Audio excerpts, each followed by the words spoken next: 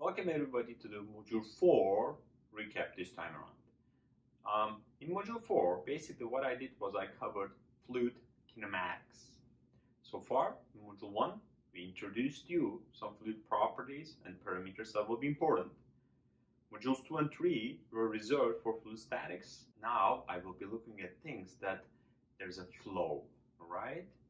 Um, that obviously this will add some complexity to my analysis, okay? But before going further, I introduced a few important concepts as well. The first one was the reference frames. We introduced Eulerian reference frame, we introduced Lagrangian reference frame. The Eulerian reference frame was the one that you were more familiar with, okay? I have the origin positioned outside of my flow. It's not moving with the flow. The second, which is a little bit more tricky, is the Lagrangian reference frame. In that, basically, I fix my origin into one of the fluid particles and I look at with respect to each other how this particular flow particle is moving with respect to another one that I selected as the origin. Okay. Unfortunately, most of the things that we will be dealing with, with in this module and further modules will be in the Lagrangian but as we'll find out at the end of this module, we introduce a theorem that converts from one reference frame to another reference frame. So at the end of the day, this will not matter too much. Okay. After that, I introduced you whether a flow is 1D, 2D, or 3D. Okay.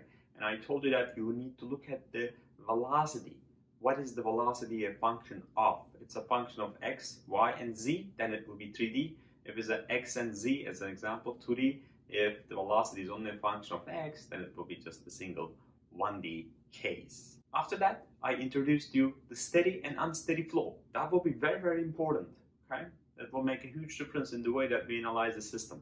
And I introduced you the definition of steady, obviously. And what I said was, if something is a function of time, that is unsteady. If something is not a function of time, then it is steady, okay? And I gave you examples from the real life perspective some good examples that will fit the both categories. After that, I switched gears a bit. I introduced something called the streamline, streak line, and path lines. And I said that for steady, that's why I introduced steady first. For steady, those three definitions are identical. There is no differences between those three.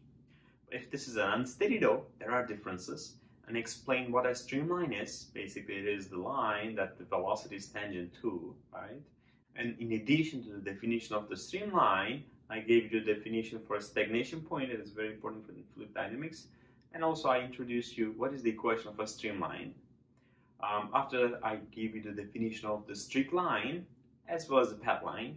And then I went ahead and solved an example problem where you have observed that what happens to these streamlines, streak lines, and path lines for a steady as well as unsteady case.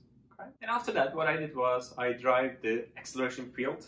And one thing uh, interesting from that was it was fairly complicated. That's number one. Number two was that I introduced you something called the material derivative. Because the mathematical operators that we are used to, everything is defined in the Eulerian reference frame. If I'm using Lagrangian, there will be a different set of symbols for these mathematical operators. I introduce you the capital D, which is the material derivative. And then I went back a bit actually. I went back to my thermodynamics concepts, right? So I introduced you to a system. What is a control mass? And what is a control volume? And the control volume will be very important to me. Okay, we will be using this very commonly. And I also showed you that if I have a control volume, that doesn't have to be stationary. It can be deforming, so this balloon, right? Or it can be something like moving as well. Then I introduced you one of the most important theorems in fluid dynamics, and it's called the Reynolds Transport Theorem, RTT. Okay, so this is the basis of the of conservation of mass, which is module five, conservation of momentum, which is module six, and conservation of energy, which is module module seven. And along with this conservation of energy, I will drive you the Bernoulli's equation. So this fundamental theorem is very important okay? And I actually will go ahead and put the um, equation up here. And if you look at the left-hand side of the equation, that is in Lagrangian reference frame. Entire right-hand side is in the Eulerian. I said that the Lagrangian is a bit more complicated, but mathematically speaking, it's not. As you can see, it's much more simpler, right? The Eulerian is, we are more, much more used to it, but it's longer as you can see. And on the left hand side, you see here dBdt, right? This capital D is the material derivative, B is the extensive property. On the right hand side, you will see a lowercase b, that means the extensive property per unit mass, which is called the intensive property. Density is rho, d volume will be dx, dy, dz, or if you're using the polar coordinates, that's going to be dr, d theta times dz, right? Um, and the next term, the last term on the right hand side, is written for a control surface, and control surface is the boundary of the control volume.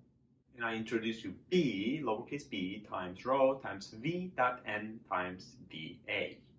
And at that over there, the v dot n seems a, little, a bit complicated.